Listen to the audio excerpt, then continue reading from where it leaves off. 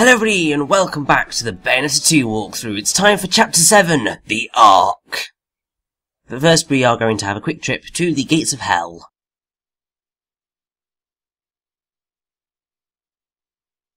Diplomacy has failed. Thank Wonderful 101 reference! Ah! Hashtag, I, I love it when that game gets referenced because it's just, it's wonderful. It's, it's one of my favourite games that Hideki Kamiya has made. And it's one of my favourite games of all time, even if it, it's flawed, don't get me wrong. And I think there are certain things that they really should have fixed. But, having said that, it's just wonderful. And, I mean, you can hear me kind of gush over it in my walkthrough of the game. But it's severely underrated and people should definitely play it. Even if just to, just to experience it because there's nothing like it out there at all. And, ah, love the Wonderful 101.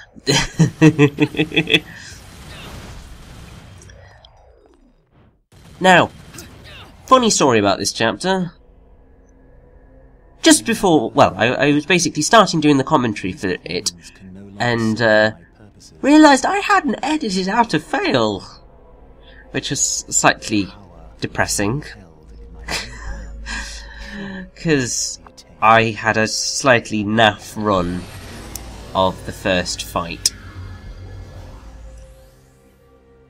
And I believe that the reason that I was so determined to get a good run on the first fight is because I know what's coming at the end and I know that I'm not very good at it.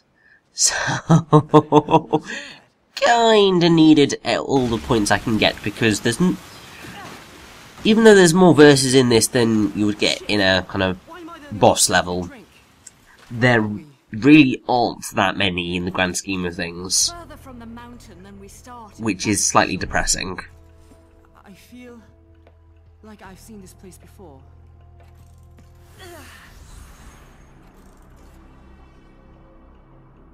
At last, you stand before me without escape. This is not your world, and you should not be in it. What was once one must be one once again. You must be turned to nothing.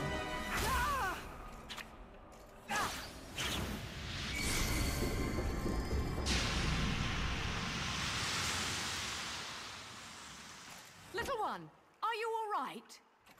Yeah, I'm fine, love. Now I'm sure I've seen this room before. If you're still trying to go to Hell, Bayonetta, I might know the shortcut. Oh? I'm remembering what I really am.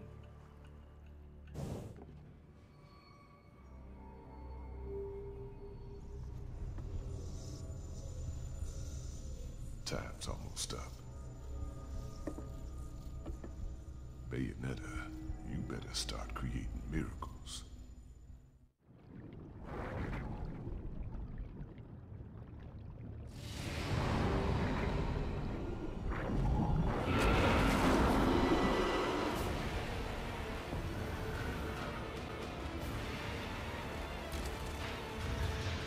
Well, you were right about the shortcut. But I think they've sent a welcoming party. And here we go, it's time to face down Insidious to the quite awesome Insidious Consumer of All. It's, a pretty awesome track. Now, we've seen Insidious before because we fought on top of one in the opening bit of the game just before the prologue. But this is the first time that we actually get to face him down. And I have to say, he is a bit challenging to read like basically you have got to dodge essentially roundabouts when things turn red. I mean basically the red is your cue to dodge. But actually pulling it off is easier said than done. He's certainly much easier to note the closing of the eyelid than anything else. Because basically if you get caught in that it will hurt. But that is arguably the easiest one to dodge but having said all that, it's a really cool fight.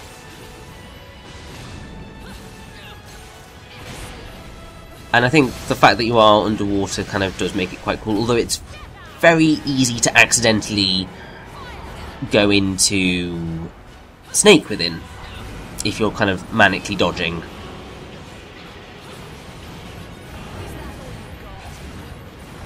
Now, one thing I will point out with the demon names, for the most part, like the angels have kind of positive names, positive things associated with their names.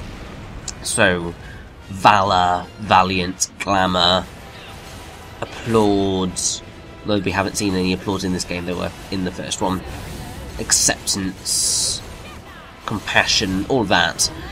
The demons have kind of negatively associated names. Makes sense that they do. So, insidious means full of wiles or plots, lying in wait or seeking to entrap or ensnare, and I think that's where they got kind of the whole devourer or consumer of all, because it's kind of entrapping, ensnaring type of thing. It's like how Gomorrah is based on one of the cities in the Bible that gets destroyed by God because of something or other. It's Sodom and Gomorrah, basically. So that's where they get Gomorrah from.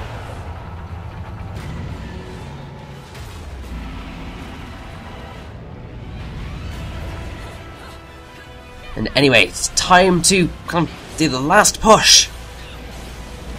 And this is going surprisingly well for me because when I did the first run of this battle, it, it wasn't good. and also, the terrifying thing about these eyeballs is that they have mouths. They're not just eyes, they're kind of mouth, eyeball things. And you can see it's the thing coming. Oh, it's really creepy.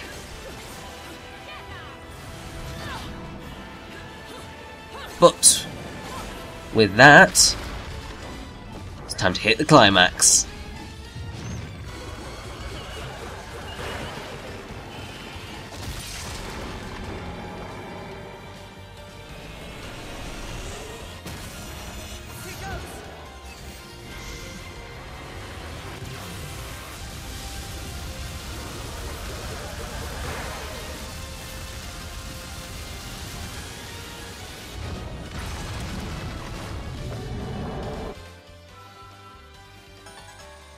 Oh, it was cool.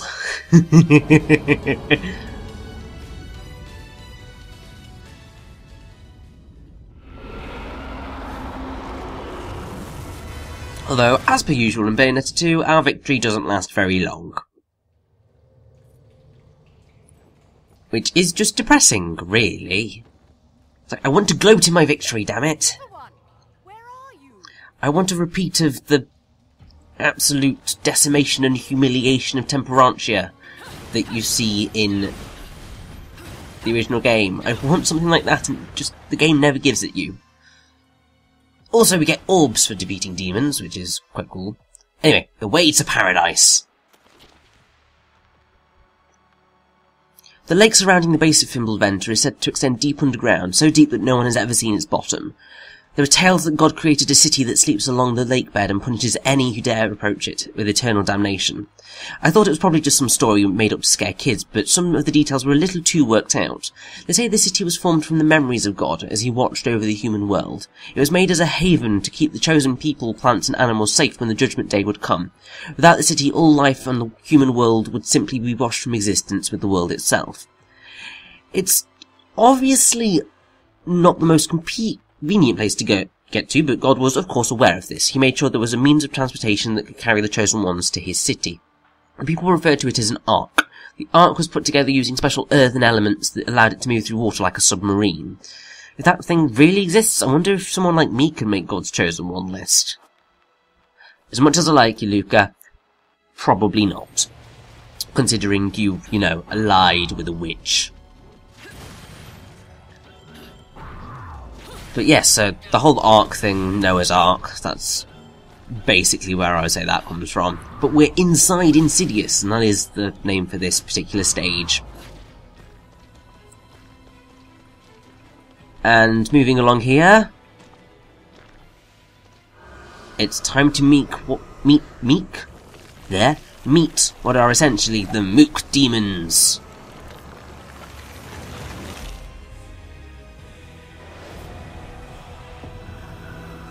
Which are hatred and I think it's hideous.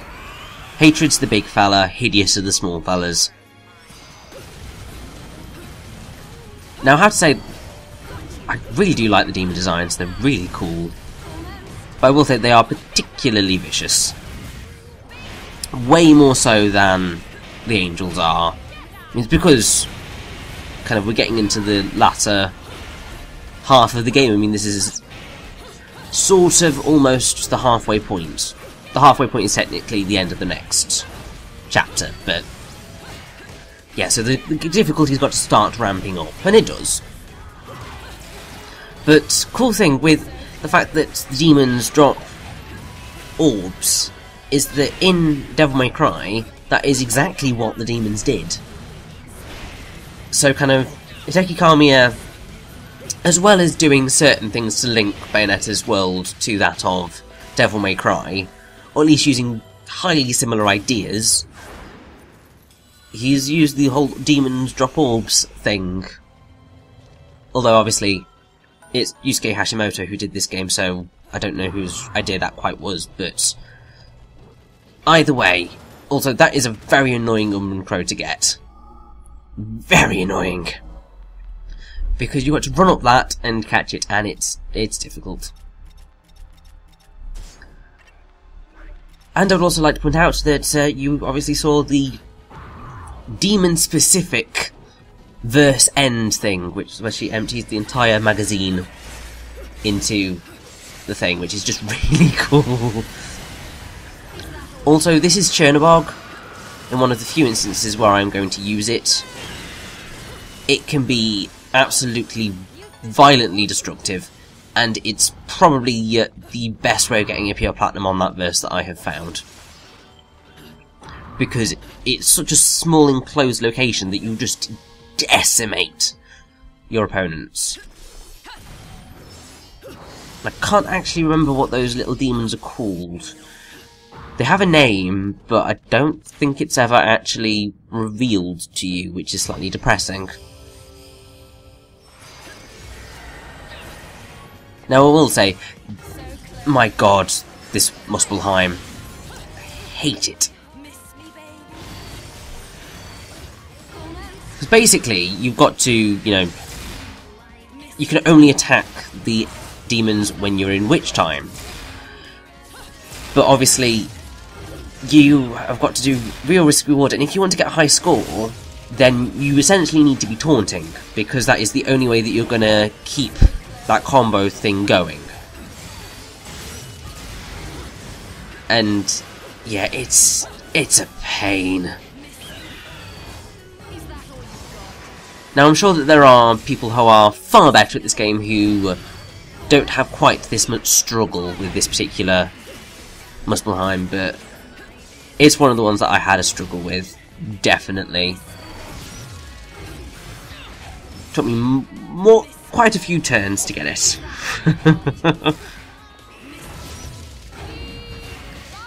but also, fun fact, all of the torture attacks for the demons involves bringing out your Umbran infernal demons and absolutely obliterating them. It's a beautiful moment. But I believe that pretty much you get most, if not all of the Infernal Demons coming out in a torture attack at some point or another. And while I'm not going to show all of them off in this main story mode, it is something that I believe I am going to show off at a later point.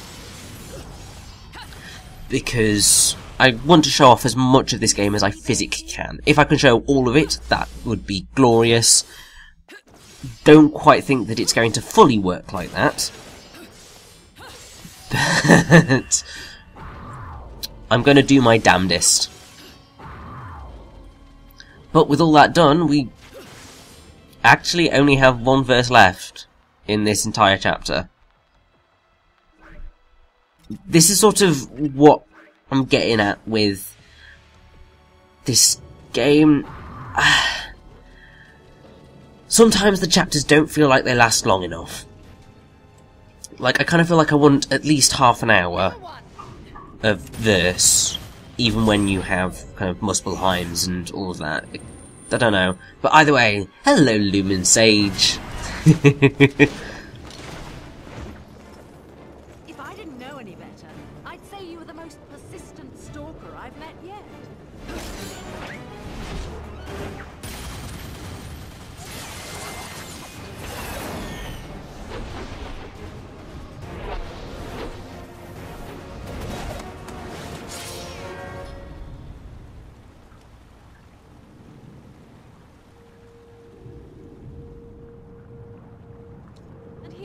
thought I was your type.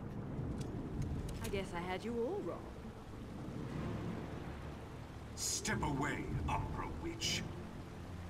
This is not your fight. Actually, it is. Indeed it is, and so we begin this rather glorious fight with the Masked Lumen. And it's certainly way more challenging than the first time. He's a lot quicker, a lot more violent. So be prepared. now something that I want to bring up during this fight is the Enochian that the Masked Lumen uses. Because it is exactly the same language that Bayonetta uses. So that's really cool. So, I believe that it's Horn and All for Temperantia, which is basically means Leo.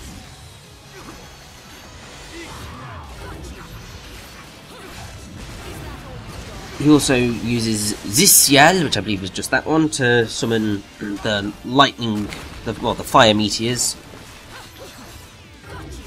He also does, well, well, I don't think that has, I don't know whether that has an actual translation or not. I don't know.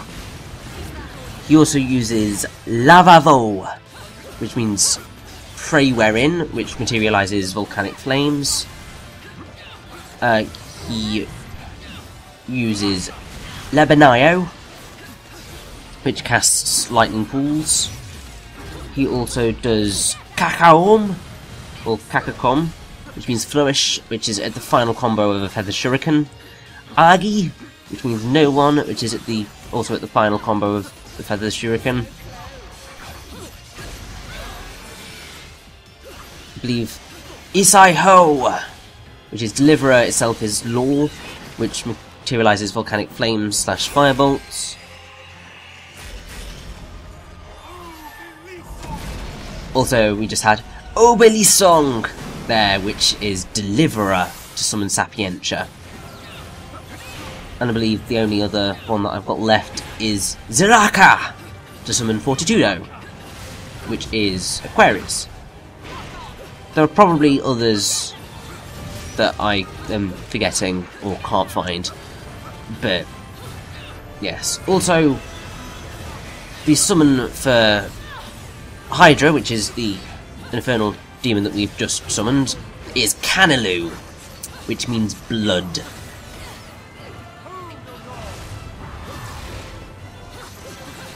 Now, Hydra obviously comes from the ancient Greek Hydra, the multi-headed lizard serpent thingamajiggy that Hercules has to defeat. It's quite a cool design, I have to say. and Hydra is apparently the spinner of destiny, and actually takes the form of a gorgon-like head. So it's kind of mixing in all of the kind of Greek stuff for Hydra.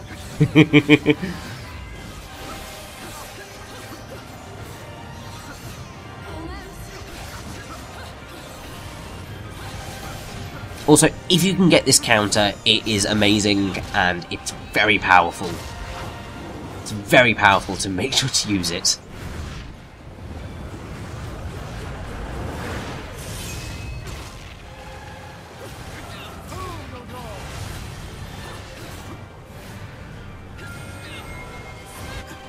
But with that, the Masked Lumen is defeated once again. And it's time for a glorious climax.